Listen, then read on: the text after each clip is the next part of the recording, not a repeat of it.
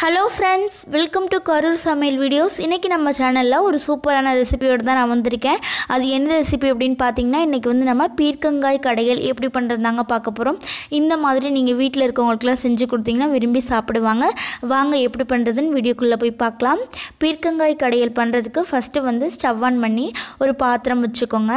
அந்த பாத்திரம் நல்லா சுடனதுக்கப்புறமா நம்ம தேவையான அளவு எண்ணெய் ஆட் பண்ணிக்கலாம். நான் வந்து த்ரீ டேபிள் ஸ்பூன் எண்ணெய் ஆட் பண்ணிக்கிறேன். எண்ணெய் ஆட் பண்ணி எண்ணெய் நல்லா சுடனதுக்கப்புறமா நம்ம கடுகு ஆட் பண்ணுங்க.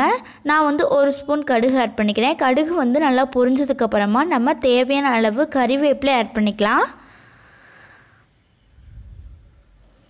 அடுத்து வந்து பார்த்திங்கன்னா நம்ம வரமிளகா ஆட் பண்ணுங்க. நான் வந்து ஒரு ஆறு வரமிளகா ஆட் பண்ணிக்கிறேன். நம்ம வந்து காரத்துக்கு எதுவுமே சேர்க்க போகிறதில்ல இந்த வரமிளகா மட்டும்தாங்க. அதனால் உங்களோட காரத்துக்கு தகுந்த மாதிரி ஆட் பண்ணிக்கோங்க. வரமிளகா ஆட் பண்ணதுக்கப்புறமா நம்ம வெங்காயம் ஆட் பண்ணோம் நான் வந்து ஒரு பன்னெண்டுலேருந்து பதினஞ்சு சின்ன வெங்காயத்தை நல்லா நீள நீளமாக கட் பண்ணி ஆட் பண்ணிக்கிறேன். சின்ன வெங்காயம் சேர்த்திங்கன்னா நல்லா டேஸ்ட்டாக இருக்கும். நீங்கள் விருப்பப்பட்டால் பெரிய வெங்காயம் கூட சேர்த்துக்கலாங்க. வெங்காயம் சேர்த்துட்டு நல்லா இந்த எண்ணெயில் வதக்கி விடுங்க. வெங்காயம் ஓரளவுக்கு நல்லா வதங்கி வரணும்.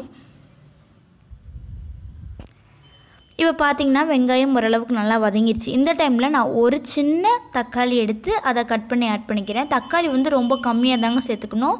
ரொம்ப சேர்த்திங்கன்னா நல்லா இருக்காது. அதனால் ஒரே ஒரு தக்காளி மட்டும்தான் நான் ஆட் பண்ணியிருக்கேன் தக்காளி ஆட் பண்ணதுக்கப்புறமா இந்த வெங்காயம் தக்காளி வதங்கிறதுக்கு தேவையான அளவு உப்பு மட்டும் நான் சேர்த்து நல்லா அந்த மாதிரி வதக்கிக்கிறேங்க. நீங்கள் இந்த டைமில் உப்பு வந்து இந்த சேர்த்திங்கன்னா வெங்காயம் தக்காளி சீக்கிரம் வதங்கி வந்துடும் அதனால் அந்த வெங்காயமும் தக்காளியும் வதங்கிறதுக்கு தேவையான அளவு உப்பு மட்டும்தான் சேர்த்துருக்கேன். இப்போ நம்ம காயெல்லாம் ஆட் பண்ணிக்கலாங்க. காய் ஆட் பண்ணிவிட்டு நல்லா மிக்ஸ் பண்ணி விட்டுறலாம். இந்த எண்ணெயிலேயே நல்லா வதக்கி விட்டுருங்க.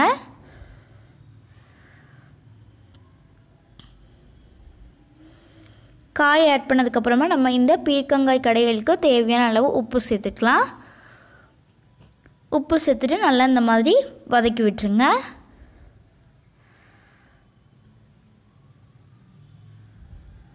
அடுப்பை வந்து மீடியம் ஃப்ளேம்லேயே வச்சுக்கோங்க.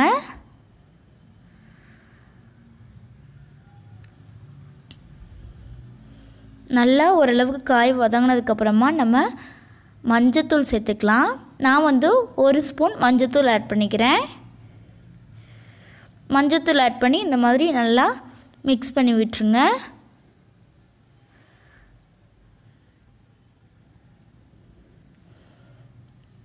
இப்போ நான் கொஞ்சமாக தாங்க தண்ணி ஆட் பண்ணியிருக்கேன். ஒரு கால் டம்ளர் தான் தண்ணி ஆட் பண்ணியிருக்கேன். ரொம்ப தண்ணி ஆட் பண்ணக்கூடாது. தண்ணி ஆட் பண்ணி நல்லா மிக்ஸ் பண்ணி விட்டுருங்க. அடுப்பை வந்து மீடியம் ஃப்ளேம்லேயே வச்சுக்கோங்க. ஏன்னா ஹை ஃப்ளேமில் வச்சிங்கன்னா தண்ணி சீக்கிரமாக இஞ்சி காய் வந்து வேகாதுங்க. எனக்கு வந்து பார்த்திங்கன்னா இப்போ நல்லா தண்ணி இஞ்சி காயெல்லாம் நல்லா வெந்துருச்சு. இந்த டைமில் நீங்கள் எதுக்கும் செக் பண்ணிக்கோங்க. காய் வெந்துருச்சான்னு. அவ்வளோதாங்க இந்த டைமில் நம்ம ஸ்டவ் ஆஃப் பண்ணிவிட்டு நீங்கள் விருப்பப்பட்டிங்கன்னா ஒரு மிக்சி ஜாரில் மாற்றி லைட்டாக ஒரு அரை அரைச்சி எடுத்துக்கலாம். நான் வந்து மத்தில் போட்டு நல்லா கடைஞ்சிட்டேங்க.